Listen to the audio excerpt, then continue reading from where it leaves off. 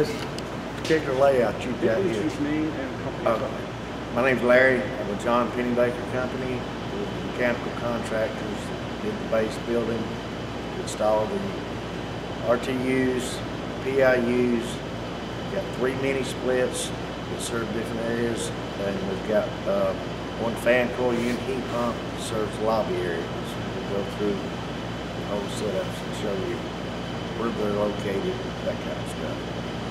What we got here this is typical of each RTU. You got supply duct, and all the supply duct is ducted out to individual PIUs. Open air return duct, which means there's no return anywhere in the building that is ducted. It is all free air return. It draws air back to the units in each area.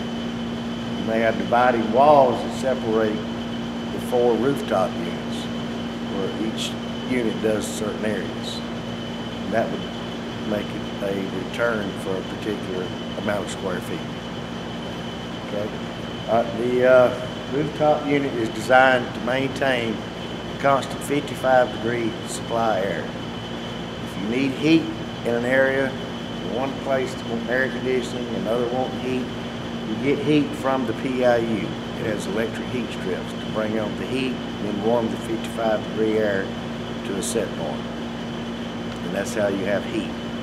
The unit on the roof has its own uh, capabilities to heat or cool the air to maintain 55 degrees. If the outside air temp's 20 degrees, it'll bring on the heat to uh, warm that supply air temp to 55 degrees and modulate to maintain a constant temp.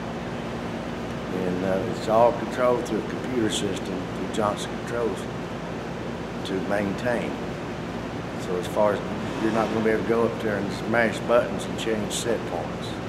It's all done computerized. And, uh, uh, that's basic design as far as the ductwork. If you want to, we'll walk over and look at a PIU that's sitting in the floor over here and I can show you a little bit of how it works.